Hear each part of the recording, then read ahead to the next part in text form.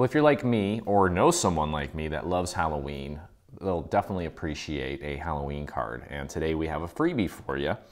Uh, it's very simple and very, um, very colorful. So I don't really think we even need to do any inking or anything like that. Um, I kind of pre-pieced it just so that I know where everything goes. And let's just jump right in. It's basically a, a paper piecing sort of piece, um, nothing crazy. So here is our uh, card base. I've already folded it at the score mark here. And I used my little silhouette scraper to kind of make that fold a little more pronounced uh, and just help it fold better. Now we've got this insert.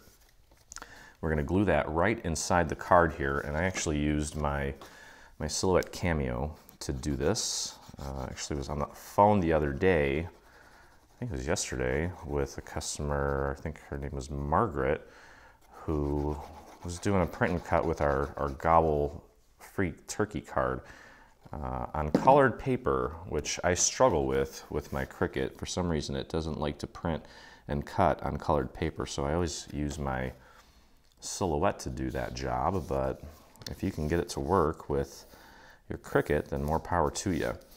Okay, so that insert's gonna go right in there. We've got the little sentiment with the print and cut, and then you've got plenty of room inside to write a little message. So that is first. Then we're gonna take this black layer and I'm gonna, glue that down. Very simple. Now go easy on the glue here. You don't need a lot. You don't wanna warp the paper. And there's a lot of little details here, so try to get the glue out to as many of the extremities, so to speak, as you can. And you gotta work kind of quick so the glue doesn't start to dry up on you. Okay, and you can see here the top left is nice and square. We're going to match that up with the top left corner as well. And then there's also the little shadow areas for the broom and such. Just want to make sure that we get all that aligned nicely. There we go. That looks good. Okay, just press that down, make sure it's got a good hold all the way around. And I'm actually, I'm dressed up because we are heading to an apple orchards today. I'm gonna go pick up my mom. All right, so uh, next we're gonna take the purple part of her dress and we'll get that in place. So I'm just going very easy on the glue here, but making sure that I'm being thorough. And again, you can see how it's kind of squared up on the top left. Just want to match that up with the top left again. And just like that. Should match up with the rest of the dress there as well. Okay. And then we can take this layer that goes on top and get that in place as well. And you'll see there that this area is also kind of squared up. So all we need to do is just match that up again. Very simple. So far so good. Just like that. Make sure it's nice and flush there. Beautiful. Okay. Now we've got a little accent piece. This little orange bit is gonna go right in there. She's got a little rip in her dress there. And we'll just throw a couple little dots of glue on there. We don't need a whole lot. And that's just gonna go in there just like that. Like that, okay. Uh, may as well get her little stocking in place. Now this is going to fit just like a little puzzle piece right in there, like that. Okay, so let's get our glue on this piece here.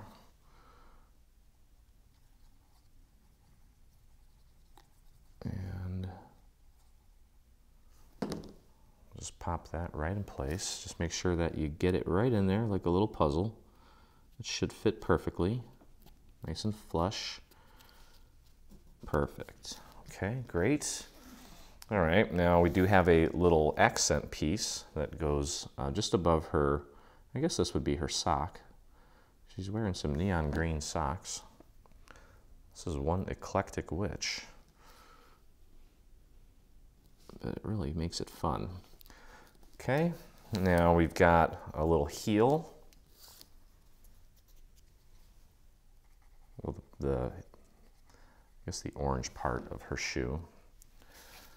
And that's gonna go right there, just like that. Just get that nice and lined up.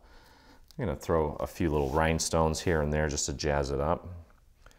And now I've got a little yellow buckle.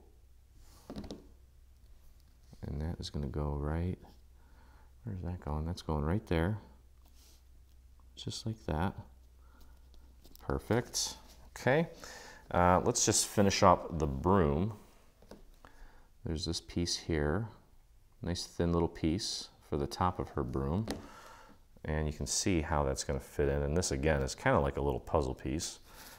We just need to pop that right into place like so. There we go. And then there's a bottom section to her broom as well.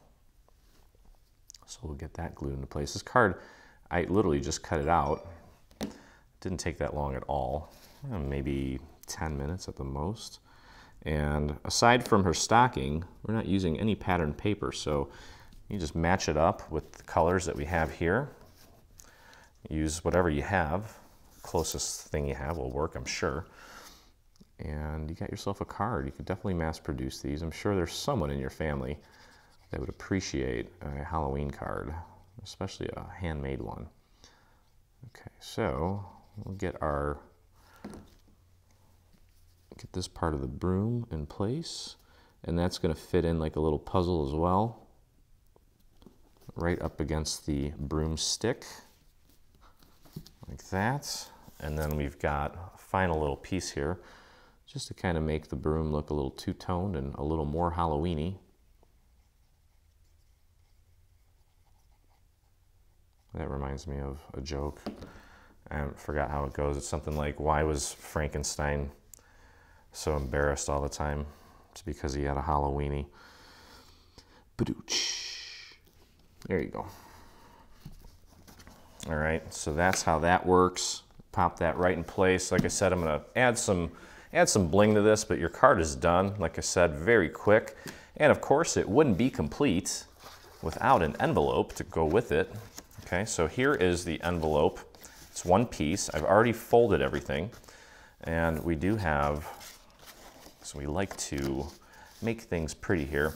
This little flap, it's gonna go behind there. You're gonna have a nice little, uh, nice little contrasting black coming out.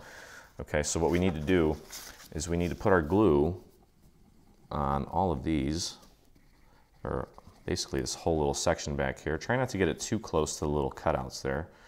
We don't want to create a mess. We don't want that glue to seep through.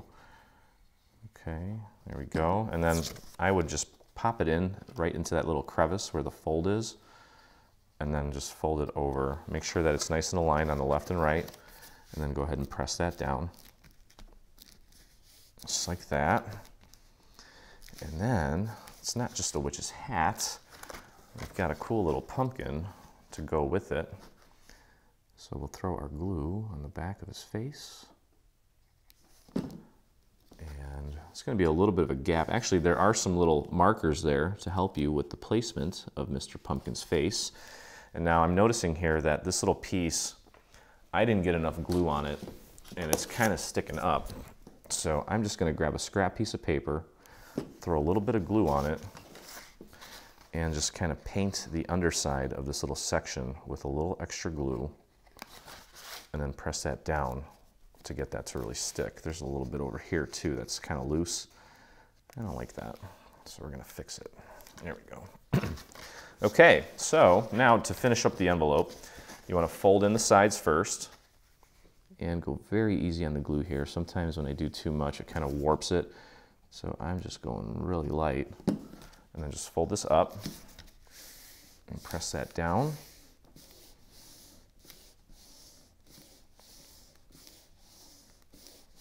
Go. And your envelope is complete. Ready for your beautiful card. I guess I didn't get enough glue on there. That and it is dry now. We've had so much humidity and now, because fall's here, it's drying out. Anyway, just be more patient with this while it sets. I can assure you that this will fit. I just have to show you. There we go. and your card is ready to go. And I do have one more little area up here that is not sitting flat, and I don't like that. I want to do my best work. I'll just throw a little glue in there and press that down. There we go. So that is it. Quick little uh, Halloween card for a friend, family member, anybody that loves Halloween will certainly appreciate it. Uh, so anyway, I hope you guys enjoyed the process. If you did, um, please take a moment and hit that subscribe button. Help me build my YouTube channel. Uh, lets me know that you enjoy crafting with me as well. And if you make this or anything from our Something Spooky bundle or any of our Halloween stuff, we'd love to see it. So join us in the official group on Facebook. Just head over to your Facebook, do a search for Dreaming Tree Group, and you can join myself and 15,000 plus other dreamers that inspire us daily. So thank you for hanging out with me, and I look forward to crafting with you next time.